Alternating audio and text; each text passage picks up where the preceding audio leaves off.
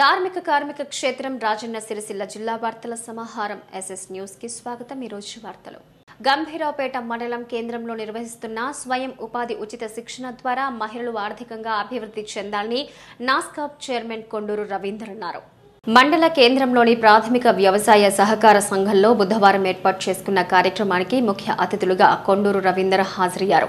అంతకుముందు గ్రామాల వారిగా నాబార్డు వారి సౌజన్యంతో ఐఆర్డీఏ స్వచ్ఛంద సంస్థ ఆధ్వర్యంలో మహిళలకు నిర్వహిస్తున్న ఫ్యాబ్రిక్ పెయింటింగ్ శిక్షణ ఉపాధి మార్కెటింగ్ తదితర అంశాలపై నాబార్డు బృందం సభ్యులు అవగాహన చేశారు. ఈ సందర్భంగా రవీందర్రావు మాట్లాడుతూ మహిళలు ఆర్థిక అభివృద్ధికి నాబార్డు వారు కల్పిస్తున్న సదవకాశాన్ని సద్వినియోగం చేసుకోవాలని రానున్న రోజుల్లో జీవనోపాధి పొందాలన్నారు. మారుతున్న పరిస్థితులకు అనుగుణంగా నాబార్డు వారు మహిళలకు పెయింటింగ్ పై పదిహేను రోజుల ఉచిత శిక్షణతో పాటు ఏడు వందల యాభై స్టైఫండ్ ధృవీకరణ పత్రం అందించడం అభినందనీయమన్నారు. శిక్షణ పొందిన అనంతరం తమ సమయాన్ని వృధా చేసుకోకుండా జీవనోపాధి పొందాలన్నారు. గ్రామాల్లో శిక్షణ పొందిన వారందరూ ఐక్యమత్యంగా ఉంటూ తమ వృత్తిని అభివృద్ధి చేసుకుంటూ మార్కెటింగ్ చేసుకున్నట్టయితే ఆర్థికంగా అభివృద్ధి చెందుతారని వారు సూచించారు. అనంతరం శిక్షణ పొందిన గంభీరావుపేట కొత్తపల్లి గ్రామాల అరవై మంది మహిళలకు ధృవీకరణ పత్రాలతో పాటు ఏడు వందల యాభై స్టైఫండ్ చెక్కులను స్థానిక ప్రజా ప్రతినిధులు కలిసి కొండూరు రవీందర్కు అందజేశారు. ఈ కార్యక్రమంలో MPP Vanga Karuna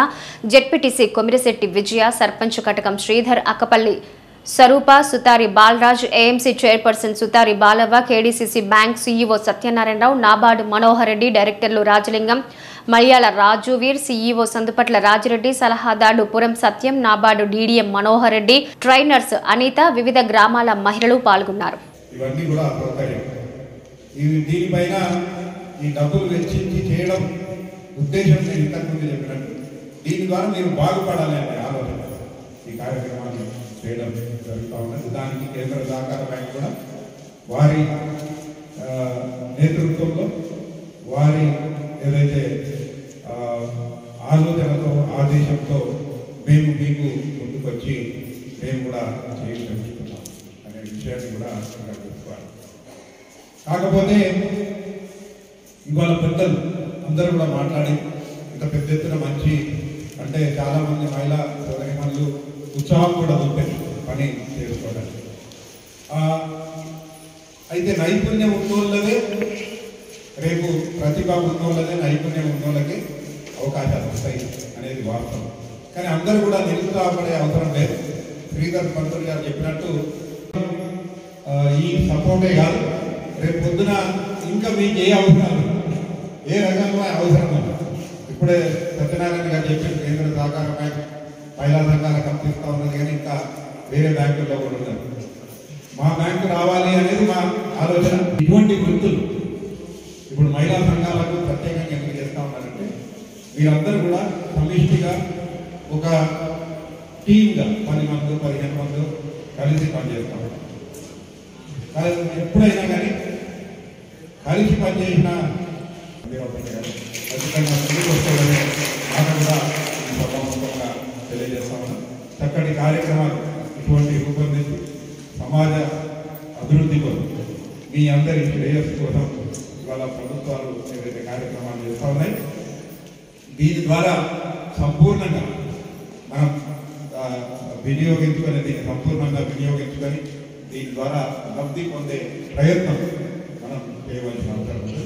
ఎవరైనా కానీ ఒక స్థాయి వరకే సహకారం.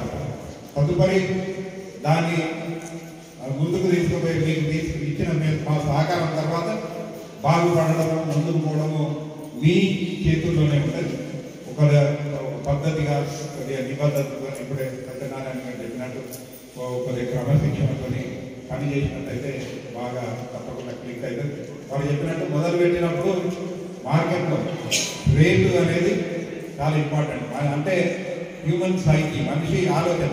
ఎక్కడ రూపాయి తక్కువ దొరుకుతుంది అది కూడా ఆర్డర్ తక్కువ దొరుకుతుంది అక్కడే ఉంటుంది కానీ మీరు సెట్ అయిపోయినాక మీకు పేరు వచ్చినాక అందరికంటే ఎక్కువ నాలుగు రూపాయలన్నా మీ దగ్గరికి వచ్చి తీసుకుంటారు. అది గ్రైండ్ గ్రైండ్ మొదటే రేటు గురించి ఆలోచన చేయకుండా మార్కెటింగ్ మనము పది మందికి తెలిసే విధంగా కాంపిటీషన్లో మొదలు ప్రవేశం ఉంటే తదుపరి ఆటోమేటిక్గా రేట్ పెంచుకోవడానికి ఆస్కారం అంటే మన పనితీరుని బట్టి మన క్వాలిటీని బట్టి ఇప్పుడు మీరు అందే అద్దె రంగులు దానికి క్వాలిటీ ఎన్ని రోజులు ఉండగలుగుతాయి పోకుండా ఉంటాయి అనేది ఇటువంటి మార్కెట్లో పేరు రావాలి. వచ్చినట్టయితే ఖచ్చితంగా ఆటోమేటిక్ మీ దగ్గరికి కస్టమర్ వస్తారు అనే విషయాన్ని కూడా మీరు గ్రహించుకోవాలని కోరుకుంటూ మరొకసారి నాబార్డు వారికి అదేవిధంగా రాజలింగం గారికి వారి ఎన్జిఓకు ప్రత్యేక అభినందనలు ఇటువంటి చక్కటి కార్యక్రమం చేసుకొని అందులో మమ్మల్ని కూడా భాగస్వామ్యం చేసి మా గౌరవ వాళ్ళందరూ కూడా సమయం వెచ్చించి ఇక్కడికి వచ్చి మా అందరినీ కూడా ఆహ్వానించి ఇటువంటి కార్యక్రమంలో పాల్గొనే అవకాశం కల్పించినందుకు మీకు ప్రత్యేక ధన్యవాదాలు తెలియజేస్తూ జై ధాన్యం కొనుగోలు సెంటర్లలో రైతులకు ఎలాంటి ఇబ్బందులు కలగకుండా అన్ని ఏర్పాట్లు చేసినట్లు జిల్లా అదనపు కలెక్టర్ కిమియా నాయక్ తెలిపారు. రైతులు దళారులను నమ్మి మోసపోకుండా నేరుగా ధాన్యం కొనుగోలు సెంటర్లలోనే ధాన్యాన్ని విక్రయించాలని కిమియా నాయక్ పిలుపునిచ్చారు. ఈ రోజు సిరిసిల్ల పాత మార్కెట్ యార్డ్లో సిరిసిల్ల సహకార సంఘం బ్యాంక్స్ ఆధ్వర్యంలో ధాన్యం కొనుగోలు కేంద్రాన్ని ఏర్పాటు చేయగా జిల్లా అదనపు collector Kimiya Naik textile development corporation chairman Gudur Praveen Rythu Bandhu Samithi అధ్యక్షుడు గడ్డం నర్సయ్య ఫ్యాక్స్ చైర్మన్ బండి దేవదాస్ చేతుల మీదుగా ప్రారంభించారు. ఈ సందర్భంగా జిల్లా అదనపు కలెక్టర్ కిమియా నాయక్ మాట్లాడుతూ జిల్లా వ్యాప్తంగా ధాన్యం కొనుగోలు సెంటర్లను ప్రారంభించినట్టు తెలిపారు. రైతులకు ఎలాంటి ఇబ్బందులు కలగకుండా అన్ని ఏర్పాట్లు చేసినట్టు తెలిపారు. రైతులు దళారులను నమ్మి మోసపోకుండా నేరుగా ధాన్యం కొనుగోలు సెంటర్లలోనే విక్రయించాలని సూచించారు. టోకెన్ల ప్రకారమే రైతుల నుంచి ధాన్యం కొనుగోలు జరుగుతాయని వారు తెలిపారు. ఈ కార్యక్రమంలో PACS vice chairman Egumamidi Venkataramanareddy market committee chairman Singireddy Ravinder Reddy municipal vice chairman Manchi Srinivasulu పాల్గొన్నారు. తెలంగాణ రాష్ట్ర ప్రభుత్వం ప్రతిష్టాత్మకంగా చేపడుతున్న కార్యక్రమం ఈ వరి ధాన్యం కొనుగోలు కేంద్రాల్లో భాగంగా ఈరోజు మన రాజన్న సిరిసిల్ల జిల్లాలో రెండు వందల యాభై ఎనిమిది సెంటర్లలో గాను ఈరోజు మన అగ్రికల్చర్ మార్కెట్ కమిటీలో కూడా ఈ ప్యాక్స్ తరఫున ఈరోజు సెంటర్ ఓపెన్ చేసుకోవడం జరిగింది. అయితే ముఖ్యంగా రైతులను కోరేది ఏంటంటే ప్యాడీ ధాన్యం తెస్తున్నారు. ధాన్యము చెత్త చెదారం లేకుండా క్లీన్గా ఉండేటట్టుంటే మనము నలభై కిలోల ఆరు వందల గ్రాములు బస్తాతోటి దూకాలి. కానీ కొంతమంది రైతులు ఏం చేస్తారు? ప్యాడీ క్లీన్ చేసుకోకుండా ఆ తాళ్ళు కానీ తౌడు ఆ చెత్త చెదారం ఉంటే దాంతో పాటు వాళ్ళు వాళ్ళు మిల్లర్స్ వాళ్ళు డిమాండ్ చేయడం జరుగుతుంది. ఆ మొత్తం డస్ట్ ఉంది ఎఫెక్ట్ నామ్స్ ప్రకారం లేదని చెప్పేసి చెప్తారు కాబట్టి దయచేసి రైతు సోదరులను కోరేది ప్యాడీ మొత్తం ప్యాడీ క్లీనర్స్ ఇవన్నీ ఇస్తున్నాం కాబట్టి ధాన్యం మొత్తం తేటగా ఆ చెత్త చెదారం డస్ట్ లేకుండా పట్టి వాళ్ళకి పంపించేస్తే మనము కరెక్ట్గా నలభై ఒకటి చూపితే ఆ రైస్ మిల్లర్ వాళ్ళతోటి కూడా మనం గట్టిగా దబాయించి వాళ్ళను అక్కడ అన్లోడ్ చేయడానికి అవకాశం ఉంటుంది. వాళ్ళకు మనం ఇట్లాంటి డస్ట్ తాలు తౌడు ఇట్లా ఎక్కువ ఉంటే వాళ్ళకు కూడా ఆ రైస్ వాళ్ళు గవర్నమెంట్ పెట్టాలి కాబట్టి దాంట్లో తేడా వస్తుంది. దయచేసి రైతు సోదరులు గమనించాలి. మనకు గన్ని బ్యాగ్స్ కానీ ఇట్లాంటివన్నీ సఫిషియెంట్ గన్ని బ్యాగ్స్ ఉన్నాయి. గన్ని బ్యాగ్స్ కూడా ప్రతి సెంటర్కి అలా పంపించడం జరిగింది. తర్వాత ఇక్కడ ఈ అగ్రికల్చర్ ఆఫీస్ వాళ్ళు వాళ్ళకు కూడా పెట్టడం జరిగింది. అగ్రికల్చర్ సైట్ వాళ్ళు వాళ్ళు కూడా. రైతులు ఏ రకంగా అయితే ఏ డేట్ వారీగా తెచ్చారో ఆ డేట్ వారీగా వాళ్ళకు టోకన్లు ఇవ్వడం జరుగుతుంది. ఆ టోకన్ల ప్రకారం మాయిశ్చర్ వచ్చిన దాని ప్రకారం మనం కాంటాలు చేస్తాం కాబట్టి రైతు సోదరులందరూ గమనించాలి. వాళ్ళందరూ సహాయ సహకరించాలని చెప్పేసి సెంటర్ని సక్సెస్ఫుల్గా విజయవంతం చేయాలనిసింది. ఆ తర్వాత మన ప్యాక్స్ చైర్మన్ గారిని అగ్రికల్చర్ మార్కెట్ కమిటీ చైర్మన్ గారిని తర్వాత ఈరోజు ఇక్కడికి వచ్చేసిన గౌరవనీయులు మన టెక్స్టైల్స్ పార్క్ చైర్మన్ గారు తర్వాత రైతు బంధు సమన్వయ సమితి చైర్మన్ గారు గ్రంథాలయ చైర్మన్ గారు వారందరికీ మరొకసారి ధన్యవాదాలు తెలియజేస్తూ ముగిస్తున్నాను. థ్యాంక్ యూ ఈరోజు మన సిరిసిల్ల పాత వ్యవసాయ మార్కెట్ కమిటీ పరిధిలో ప్యాక్స్ సింగిల్ విండో వారి ఆధ్వర్యంలో ఈ వరి ధాన్యం కొనుగోలు కేంద్రాన్ని ప్రారంభోత్సవం చేసుకోవడం జరిగింది. ఈ కార్యక్రమానికి గౌరవనీయులు మన రాష్ట్ర textile powerloom corporation development corporation chairman Ravin గారు మరియు మన గౌరవనీయులు అడిషనల్ కలెక్టర్ గారు గౌరవనీయులు జిల్లా గ్రంథాలయ సంస్థ చైర్మన్ గారు మార్కెట్ కమిటీ చైర్మన్ గారు తర్వాత మన సింగిల్ విండో చైర్మన్ గారు వైస్ చైర్మన్ గారు ఇతరత్ర మన ప్రజాప్రతినిధులు నాయకులు తర్వాత రైతులు అమాలి సోదరులందరికీ కూడా శుభాకాంక్షలు తెలుపుకుంటూ ఏదైతే ప్రభుత్వం ప్రతిష్టాత్మకంగా ఇప్పుడే గౌరవనీయులు మన తోట ఆగన్న గారు వచ్చేసారు అయితే ప్రభుత్వం రైతు పక్షపాత ప్రభుత్వం ఇది. తెలంగాణ రాష్ట్రం ఏర్పడ్డప్పటి నుంచి పూర్తి స్థాయిలో రైతులకు మేలు కలిగే విధంగా వ్యవసాయాన్ని పండగలా చేసే విధంగా ఒక మంచి దృఢమైనటువంటి సంకల్పంతో గౌరవనీయులు ముఖ్యమంత్రి గారు మా రైతు సంక్షేమానికి తెల్లవారులైతే అందరం చెప్పుకుంటా ఉన్నాం ప్రతి కార్యక్రమం. ఈరోజు ఇంత అభివృద్ధి జిల్లాకి వచ్చింది అంటే వ్యవసాయం కేవలం ముఖ్యమంత్రి గారి యొక్క పట్టుదల శ్రమ వారు పెట్టినటువంటి దూరదృష్టితోని ఈ రకంగా ఈ రాష్ట్రంలో వ్యవసాయాన్ని పండగలా చేసి నాడు పాతకాలంలో అంటే గత ఉమ్మడి రాష్ట్రం ఉన్నప్పుడు వ్యవసాయం దండగా అనేటువంటి పరిస్థితి నుంచి ఈరోజు పండగగా వచ్చినటువంటి ఈ క్రమంలో మరి రైతులు పండించినటువంటి ధాన్యాన్ని అంతా కూడా ప్రభుత్వం కొని ప్రభు మరి రైతులకు అండగా నిలబడాలనేటువంటి పరిస్థితుల్లో కరోనా మహమ్మారి కష్టకాలంలో కూడా రైతులకు ఏ విధమైన ఇబ్బంది కలగకుండా మన మన ప్రాంతాల్లోనే మన మన గ్రామాల సమీప ప్రాంతాల్లోనే ఏ గ్రామానికి ఆ గ్రామానికి అక్కడ ఇప్పుడే గౌరవనీయులు అడిషనల్ కలెక్టర్ గారు చెప్పినట్టుగా ఈ జిల్లాలో ఇప్పుడు రెండు వందల యాభై ఎనిమిది కొనుగోలు కేంద్రాలు ఏర్పాటు చేసి ఎక్కడికక్కడ ఈ ధాన్యాన్ని కొనడం జరుగుతుంది.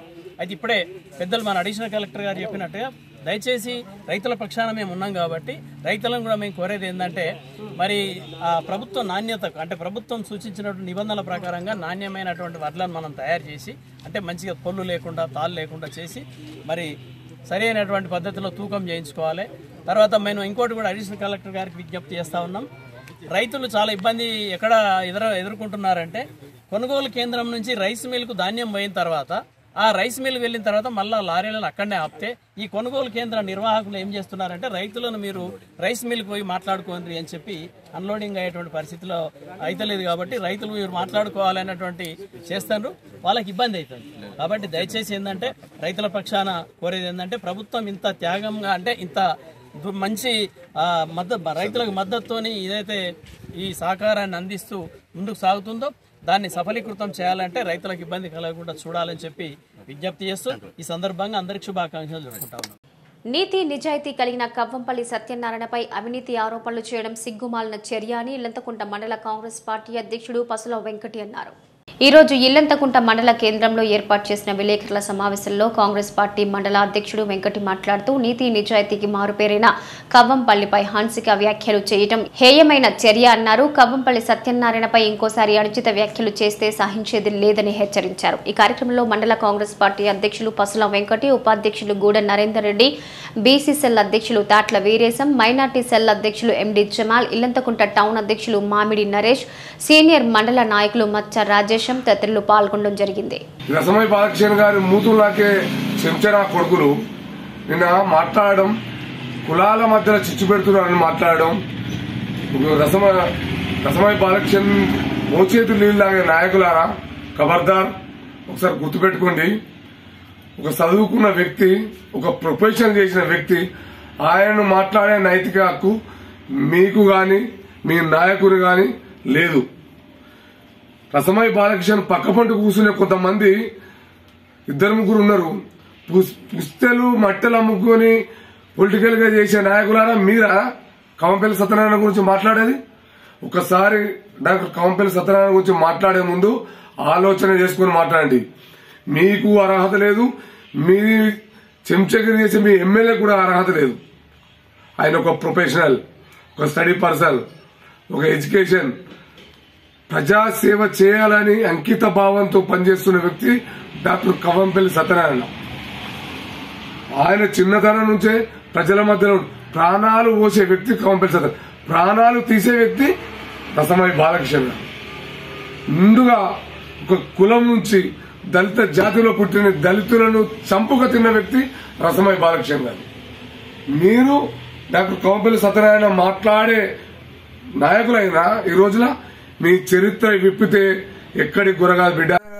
రాజకీయం చేసే నాయకులారా ఒకసారి గుర్తు పెట్టుకోండి మీరు ఎవరితోనే మాట్లాడుతున్నారు ఎవరి దగ్గర మాట్లాడుతున్నారు మీకు డాక్టర్ కవంపల్లి సత్యనారాయణ హాస్పిటల్ ముంగట ఏడిసితే ఆయన మీకు మంచిగా చేసి పంపించిన రోజులు ఉన్నాయి గుర్తుపెట్టుకుని ఆయన సేవాభావం కలిగిన వ్యక్తి డాక్టర్ కవంపల్లి సత్యనారాయణ.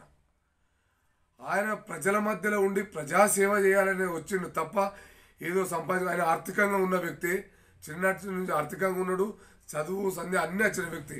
వాళ్ళ ఫ్యామిలీ మొత్తం ప్రజాసేవ గురించి వచ్చారు తప్ప వేరే లేదు. ఖబర్దార్ టిఆర్ఎస్ నాయకులారా మీరు మాట్లాడే ముందు ఒకసారి గ్రహించుకోండి బుద్ధి తెచ్చుకోండి. మీ నాయకుడు దళితుల దగ్గర భూములు గుంజుకొని దళితులను చంపి దళితులను హీనంగా హింసించే నాయకుడు మీ నాయకుడు. మీ నాయకుడు మాట్లాడితే మీ నాయకుడు చెప్పినట్టు మీరు మాట్లాడతారా? దొంగలకు ముఠా నాయకుడు ఎవరంటే మీ నాయకుడు. ఒకసారి అర్థం చేసుకోండి. ఇంకొకసారి డాక్టర్ కౌంపల్లి సత్యనారాయణ గారి మీద మీరు కాంగ్రెస్ పార్టీ మీద కానీ అవాకులు చెవాకులు పేల్చినా వేరే ఏమి మాట్లాడినా ఊరుకునే ప్రసక్తి లేదు. అంచుత వ్యాఖ్యలు చేస్తే ఊరుకునే ప్రసక్తి లేదు. తరిమి తరిమి కొడతాం బిడ్డ.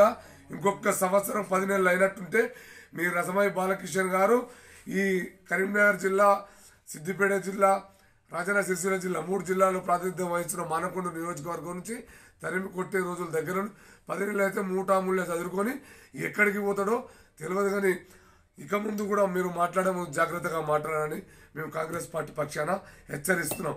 లేని ఏడలా మీ ఎంబడి పడతామని మేము హెచ్చరిస్తున్నాం. ఖబర్దార్ రసమై బాలకిషన్ గారు కమంపల్లి సత్యనారాయణ గారి నాయకత్వం ప్రారంభోత్సవంలో ఉన్న శ్రద్ధ కొనుగోళ్ళలో లేదని మిల్లర్లతో లోపాయికార ఒప్పందమే దీనికి కారణమని తంగళ్ళపల్లి కాంగ్రెస్ పార్టీ మండల అధ్యక్షుడు జలగం ప్రవీణ్ ఆరోపించారు. తంగళ్ళపల్లి మండల కేంద్రంలోని బీరప్ప వద్ద గల ధాన్యం కొనుగోలు కేంద్రాన్ని మండల కాంగ్రెస్ నాయకులు సందర్శించి రైతులతో మాట్లాడారు. వారి సాధక బాధల్ని అడిగి తెలుసుకున్నారు. మండల కాంగ్రెస్ ప్రెసిడెంట్ ప్రవీణ్ మాట్లాడుతూ రైతులు ఆరుగాలం కష్టపడి పండించిన పంటను గత నెల రోజుల క్రితమే కళ్ళాల్లో ఆరబెట్టి కొనుగోలుకు ఎదురు చూస్తున్న క్రమంలో ఇప్పటి వరకు జిల్లా అధికారులు మండల వ్యవసాయ అధికారులు స్పందించిన దాఖలాలు లేవన్నారు.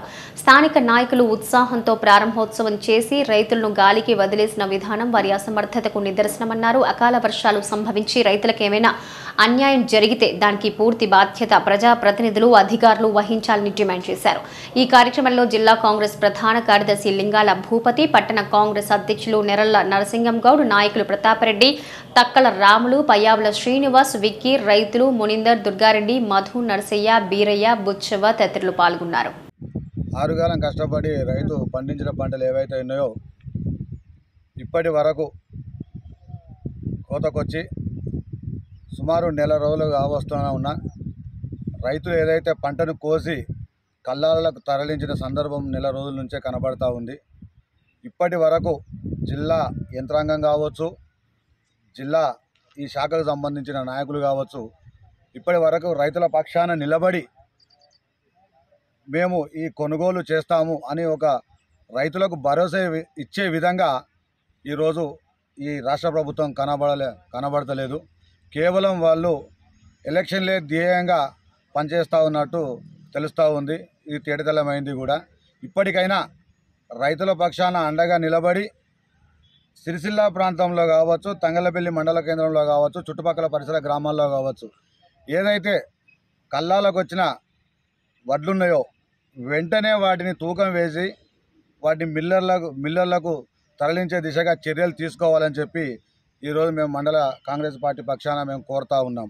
ఎందుకంటే సుమారు నెల రోజుల క్రితం నుండే వీళ్ళు ఈ వడ్లు ఇక్కడ ఎండబోయడం జరిగింది. ఏదో మొన్నటికి మొన్న ఫ్యాక్స్ సంస్థ వారు హుటాహుటిన ప్రారంభోత్సవాలు చేసి కొబ్బరికాయలు కొట్టి పూలు చల్లి మేము అండగా నిలబడతామని చెప్పి కేవలం నామమాత్రానికే ఈరోజు భరోసా ఇవ్వడం జరిగింది. అలాగే ఈ రోజుకు చూసుకుంటే ఎక్కడ ప్రతిపక్షం మమ్మల్ని ప్రశ్నిస్తా ప్రశ్నిస్తారో ప్రజా ప్రజాక్షేత్రంలో మమ్మల్ని మేము చేసే తప్పులను ఎక్కడ ఎండగడతారో అని చెప్పి ఒక మిల్లర్లతోని ఒక రకమైన కుమ్మక్కుతో వాళ్ళు ఒక లోపాయకారి ఒప్పందం కుదుర్చుకొని ఈరోజు ఈ తంగలపల్లి మండల కేంద్రంలో గల సెంటర్ను సందర్శించి దొంగచాటుగా సందర్శించి మేము మీరు ఎవరికి సహకరించకండి ఎవరికి ఏం చెప్పకండి రేపు పొద్దున నుండి మేము ఇక్కడ కాంటా పెట్టి మీ వారి కొనుగోలు చేస్తామని చెప్పి వాళ్ళకి ఏదో నామమాత్ర భరోసా ఇచ్చి వెళ్ళినట్టుగా మాకు ఈ సందర్భంగా మాకు ఈరోజు ఇక్కడ ఉన్న రైతులు చెప్పడం జరుగుతూ ఉంది. ఇది సరైన పద్ధతి కాదు. ఏవైతే ప్యాక్ చైర్మన్ గారు కావచ్చు అలాగే జిల్లా అధికార యంత్రాంగం కావచ్చు జిల్లా కలెక్టర్ గారు కావచ్చు తప్పకుండా ఈ ఏదైతే కొనుగోలు విషయంలో రైతులకు పూర్తి భరోసా కల్పించే విధంగా చర్యలు తీసుకోవాలి. వాళ్ళకు అలాట్మెంట్ చేసిన మిల్లర్లతో మాట్లాడి వాళ్ళకు మద్దతు ధరతో పాటుగా ఉటావుటిన ఒక్క గింజ కూడా తరుగు తప్ప ఇల్లంతకుంట మండల కేంద్రంలోని ప్రభుత్వ ప్రాథమిక పాఠశాలని రోజు రాజన్న సిరిసిల్ల జిల్లా అడిషనల్ కలెక్టర్ సత్యప్రకాష్ మరియు డీఈఓ రాధాకృష్ణ ఆకస్మిక తనిఖీ చేశారు. ఉపాధ్యాయుల రిజిస్టర్ను పరిశీలించడంతో పాటు పిల్లలకు పెడుతున్న మధ్యాహ్న భోజనాన్ని పరిశీలించారు. ఈ కార్యక్రమంలో అధికారులు ప్రజాప్రతినిధులు పాల్గొన్నారు. టీఆర్ఎస్ యూత్ విభాగం నాయకుడు వడ్నాల విక్రమ్ రాజన్న సిరిసిల్ల జిల్లా రజక సంఘం యూత్ అధ్యక్షునిగా నియామకమైన సందర్భంగా విక్రమ్ను పలువురు అభినందించారు. తెరాస యూత్ నాయకుడు వద్నాల విక్రమ్ రాజన్న సిరిసిల్ల జిల్లా రజక సంఘం యూత్ అధ్యక్షులుగా ఎన్నికైనందుకు సిరిసిల్ల మున్సిపల్ చైర్మన్ జిందం కళా తెరాస పట్టణ అధ్యక్షులు జిందం చక్రపాణి చేతుల మీదుగా విక్రమ్ను పూలమాళ్ళు శాలువాలతో ఘనంగా సత్కరించారు రాబోయే రోజుల్లో మరింత ఉన్నత స్థాయికి విక్రమ్ ఎదగాలని రజక సామాజిక వర్గ సమస్యలు తీరుస్తూ అండగా ఉండాలని చక్రపాణి ఆశాభావం వ్యక్తం చేశారు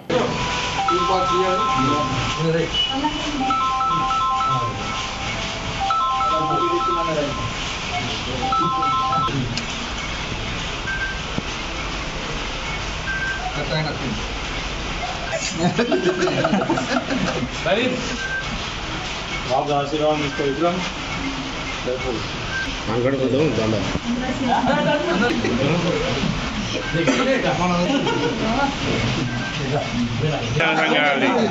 కాదు కార్తీక మాసం వేరే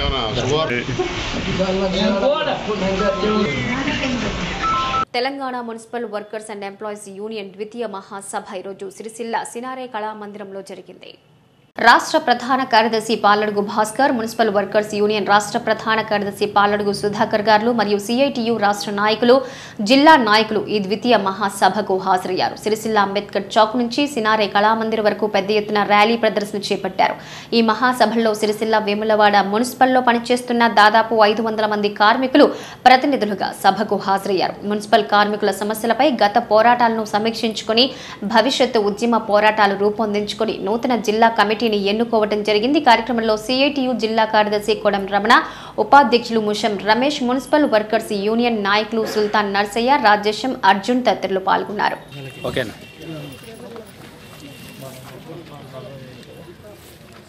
తెలంగాణ రాష్ట్ర వ్యాప్తంగా నూట ఇరవై ఆరు మున్సిపాలిటీలలో మూడు కార్పొరేషన్లలో రాష్ట్ర వ్యాప్తంగా నలభై వేల మంది మున్సిపల్ పారిశుద్ధ కార్మికులు పనిచేస్తున్నారు. రాష్ట్ర వ్యాప్తంగా సంవత్సరాల తరబడి పనిచేస్తున్న మున్సిపల్ కార్మికులకు పర్మనెంటు ఉద్యోగ భద్రత కనీస వేతనం అనేది అందని పరిస్థితి ఉంది. ఈ రాష్ట్రంలో రాష్ట్ర ప్రభుత్వం పదకొండో పిఆర్సీ ప్రకటించింది. థర్టీ పర్సెంట్ వేతనాలను అమలు చేస్తూ జీవో నెంబర్ అరవైను కూడా రాష్ట్ర ప్రభుత్వం విడుదల చేసింది. అయినప్పటికీ కూడా మున్సిపల్ కార్మికులను మోసం చేస్తూ జీవో నెంబర్ అరవై ప్రకారం వేతనాలను నిర్ణయించుకోకుండా అందులో కుదింపు కుదింపు చేస్తూ పదిహేను వేల ఆరు వందల రూపాయలను మున్సిపల్ కార్మికులకు కేటాయించడం ఇది అత్యంత దుర్మార్గం. కాబట్టిగా మున్సిపల్ కార్మికులు రాష్ట్ర వ్యాప్తంగా మున్సిపల్ కార్మికులకి ఇరవై ఒక్క వేతనం అమలు చేయాలని సంవత్సరాల తరబడి పనిచేస్తున్న మున్సిపల్ కార్మికులందరినీ పర్మనెంట్ చేసి ఉద్యోగ భద్రత కల్పించాలనేది సిఐటియు తెలంగాణ రాష్ట్ర కమిటీగా మున్సిపల్ వర్కర్స్ యూనియన్ రాష్ట్ర కమిటీగా ఈ ప్రభుత్వాన్ని మేము డిమాండ్ చేస్తున్నాం. రాజన్న సిరిసిల్ల జిల్లా మహాసభ జరుగుతూ ఉంది. ఈ మహాసభకు జిల్లాలో ఉన్నటువంటి మున్సిపల్ నుంచి కార్మికులు అలాగే రాష్ట్ర సిఐటియు నాయకులు ఇక్కడికి వచ్చారు. అలాగే జిల్లాలో ఉన్నటువంటి నాయకులు కూడా అందరూ వచ్చారు. వారందరికీ ఈ మహాసభల సందర్భంగా ధన్యవాదాలు. ముఖ్యంగా తెలంగాణ ప్రభుత్వం రెండోసారి అధికారంలోకి వచ్చాక కార్మికులను మోసం చేసింది అనడానికి ఒకే ఒక ఉదాహరణ. మొదటి పిఆర్సీలో అన్యాయం చేసింది రెండో పిఆర్సీలో అంటే పదకొండో పిఆర్సీ అధికారంలోకి వచ్చినాక రెండోసారి ప్రకటించినప్పుడు పదకొండో పిఆర్సీ ఏదైతే బిస్వాల్ కమిటీ ఉందో ఆ బిస్వాల్ కమిటీ సూచించినటువంటి వేతనం మన యూనియన్గా ఇరవై నాలుగు వేల రూపాయలు ప్రతిపాదన చేస్తే అధికారంలో ఉన్నటువంటి అధికార పార్టీలో ఉన్నటువంటి నాయకులు చెప్పిందే తడ తనుగా ఏదైతే పి పిఆర్సీ కమిటీ నిర్ణయించినటువంటి పంతొమ్మిది వేల ఐదు వందల రూపాయలను కాదని రాష్ట్ర ప్రభుత్వం పదిహేను వేల ఆరు వందల రూపాయలు మాత్రమే ఒక వర్కర్ కేటాయించింది. కరోనా కాలంలో అనేక నిత్యావసర ధరలు పెరిగినాయి. నిత్యావసర ధరలు పెరిగినటువంటి సందర్భంగానన్న అదన్న దృష్టిలో పెట్టుకొని రాష్ట్ర ప్రభుత్వం ఏదైతే పదకొండో పిఆర్సీలో ఉన్నటువంటి బిసోల్ కమిటీ సూచించినటువంటి పంతొమ్మిది వేల ఐదు వందల రూపాయలను మినిమం వేజ్గా నిర్ణయించాల్సింది. కానీ ఇక్కడ ఉన్నటువంటి తెలంగాణ ప్రభుత్వం అన్యాయం చేసింది అనడానికి ఇది నిదర్శనం. ఇప్పుడే ఇప్పుడు చెప్తా ఉన్నాం ఈ మహాసభల సందర్భంగా. ఈ మహాసభల్లో తీర్మానం చేయబోతా ఉన్నాం. కనీస వేతనం ఇరవై ఆరు వేల రూపాయలుగా ఇవ్వాలి. ఆ లోపు ఆంధ్రప్రదేశ్లో ఇస్తున్నట్టు ఇరవై ఒక వెయ్యి రూపాయలు వేతనం ఇవ్వాలి. ఆ పద్ధతిలో ఇవ్వకుంటే పోరాటం కొనసాగుతుందని ఈ సందర్భంగా తెలియజేస్తా ఉన్నాను. అలాగే రాష్ట్రంలో ఏ మున్సిపాలిటీ చూసినా స్థానిక సమస్యలు ఉన్నాయి. అలాగే ఇక్కడ ఉన్నటువంటి సిరిసిల్ల మున్సిపాలిటీలో వెమ్లవాడ మున్సిపాలిటీలో స్థానికంగా ఉన్నటువంటి సమస్యలు అనేకం ఉన్నాయి. బట్టలు ఇవ్వట్లేదు చెప్పులు ఇవ్వట్లేదు సబ్బులు నూనెలు సంబంధించిన ఇవన్నీ ఇవ్వాలి సంవత్సరానికి రెండు జతలు ఇవ్వాల్సిన కానీ ఎక్కడ కూడా తూతూ మంత్రంగా వాళ్ళు అన్యాయానికి కార్మికులు అన్యాయంగా గురి చేస్తూ ఉన్నారు. కాబట్టి అవి కూడా స్థానిక సమస్యలను కూడా పరిష్కరించాలి. ఏళ్ళ తరబడి సీడీఎంఏ ఇచ్చినటువంటి సర్క్యులర్లు పదిహేను రోజుల క్యాజువల్ లీవ్లు ఉన్నప్పటికీ ఐడి కార్డులు ఇవ్వాలని ఉన్నప్పటికీ ఏవి కూడా మున్సిపాలిటీలో అమలు చేయలేని పరిస్థితి. కాబట్టి మేము అంటున్నాం ఖచ్చితంగా తప్పకుండా స్థానిక సమస్యలను కమిషనరు చైర్మన్ పరిధిలో ఉన్నటువంటి స్థానిక సమస్యలను పరిష్కరించకపోతే పెద్ద ఎత్తున ఆందోళనకు పూనుకుంటామని. అలాగే రాష్ట్ర ప్రభుత్వం మీద కూడా పక్కనున్న ఆంధ్రప్రదేశ్లో వేతనం ఏ పద్ధతిలో ఇరవై ఒక ఇస్తూ ఉన్నారో ఆ పద్ధతిలో వేతనం ఇవ్వకపోతే కూడా కరీంనగర్ జిల్లాలో కరీంనగర్ ఉమ్మడి జిల్లాలో పెద్ద ఎత్తున పోరాటం చేస్తామని ఈ సందర్భంగా తెలియజేస్తా ఉన్నాను సిరిసిల్ల మున్సిపల్ పరిధిలోని నిరుపేదలకు డబుల్ బెడ్రూమ్ ఇళ్ళు మంజూరు చేయాలని డిమాండ్ చేస్తూ సిఐటి ఆధ్వర్యంలో సిరిసిల్ల ఆర్డీఓ కార్యాలయం ఎదుట ధర్నా చేపట్టారు. ఈరోజు సిరిసిల్ల ఆర్డీఓ కార్యాలయం ఎదుట సిఐటియు నాయకులు ధర్నా నిర్వహించారు. డబుల్ బెడ్రూమ్ ఇళ్ళు మంజూరు కానున్న వారందరికీ ప్రభుత్వ స్థలంతో పాటు ఇంటి నిర్మాణానికి మూడు లక్షల రూపాయలు ఆర్థిక సహాయం అందిస్తారన్న ప్రభుత్వం వెంటనే స్పందించి ప్రతి ఒక్కరికి స్కీమ్ అమలు చేయాలని డిమాండ్ చేస్తూ ఆర్డీఓ కార్యాలయం వద్ద ధర్నా చేపట్టారు.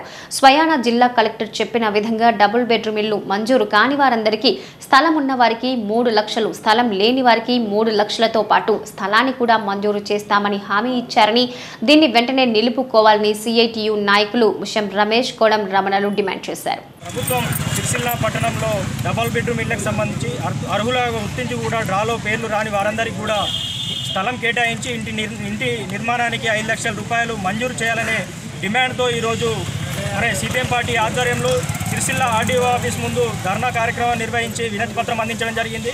మరి సిరిసిల్ల పట్టణానికి సంబంధించి చూసుకున్నట్లయితే ప్రభుత్వం పలు దఫాలుగా సర్వేలు నిర్వహించి ఇరవై ఏడు వందల అరవై ఏడు మంది లబ్ధిదారులను ఎంపిక చేయడం జరిగింది.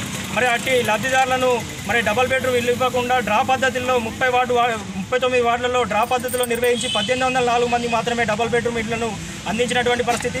మరి మిగిలిన తొమ్మిది వందల అరవై మూడు మందిని కూడా ప్రభుత్వమే అర్హులుగా గుర్తించింది కావున వారందరికీ కూడా ఇంటి స్థలం కేటాయించి ఇంటి నిర్మాణానికి ఐదు లక్షల రూపాయలు మంజూరు చేయాలని చెప్పి మరి సిపిఎం పార్టీ ఆధ్వర్యంలో గత ఈ సంవత్సరం ఫిబ్రవరి నెలలో పదిహేను రోజుల పాటు పెద్ద ఎత్తున ఆందోళన పోరాటం నిర్వహించడం జరిగింది. ఈ సందర్భంగా జిల్లా కలెక్టర్ గారు కలెక్టర్ గారు అధికారులు ప్రజాప్రతినిధులు కూడా నెల రోజుల్లోపే వీరందరికీ న్యాయం చేస్తామని చెప్పి హామీ ఇవ్వడం జరిగింది. అట్టి హామీతో మేము ఆందోళన విరమించడం జరిగింది. అయినా కూడా ఇప్పటికీ ఆరు నెలలు పూర్తయినా కూడా అట్టి హామీ అమ- అమ- హామీ అమలుగా కావట్లేదు.